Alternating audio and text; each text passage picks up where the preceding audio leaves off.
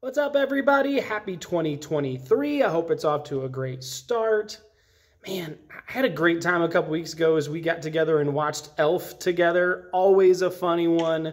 I love the scenes where he first gets to New York City and everything's so new. The first time he finds the revolving door. You know the scene. He gets in it, he runs around and around, and of course he gets sick. And then you know what happens. He ends up going back into the revolving door and just doing it again. In the movie, we get it, we laugh, it's funny, and yet we do that in real life, and it's really not very funny. In fact, the Bible talks about that. Proverbs 26 11 says, Like a dog that returns to its vomit, eek, is a fool who repeats his folly.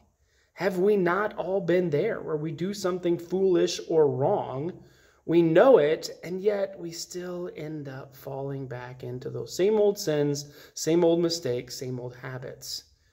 I want to challenge you this week. Let's strive not to repeat mistakes. Even this year, be a people who don't repeat our mistakes, but learn from them and do better moving forward. And maybe we can be a buddy to each other and help each other overcome those mistakes, become wiser, become, become more like Christ each day. I love you guys. Have a great week and a great year. We'll see you next time.